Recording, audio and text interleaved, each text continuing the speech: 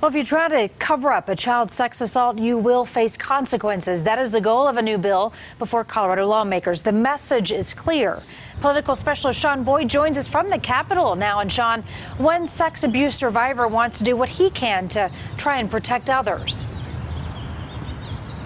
And Karen, he says one way to do that is to go after people who know about abuse but don't report it, allowing for more victims. Certain professions, teachers, clergy, doctors, are required to report suspected abuse or face charges.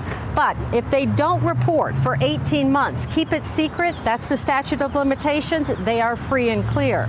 This legislation wouldn't let them off so easy. Anytime I touch that pain, it just it just wells up. 63 years after Paul Quinn was sexually abused by a Catholic priest, he remains tormented. Talking about the abuse so traumatic, it took him 32 years to open up. We're not talking about repressed memories here. I always remembered it.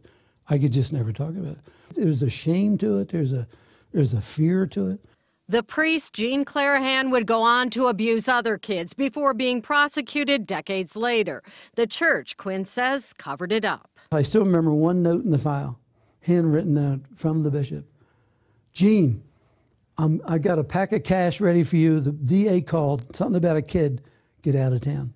Quinn says mandatory reporters like church leaders need to be held accountable. In Colorado, after 18 months, a district attorney can't prosecute someone for not reporting abuse, even if they concealed it purposefully. 18 months just isn't enough. Representative Dafna Michaelson Jenet, sponsor of a bill that would extend the statute of limitations to three years. The Colorado District Attorney's Council among the supporters. When they don't act and they rob us of that opportunity to intervene, those children continue to suffer at the hands of their abusers, and additional children become victims. I'm 78 years old. This happened, what, 63 years ago? Quinn is silent no more. I want to stop.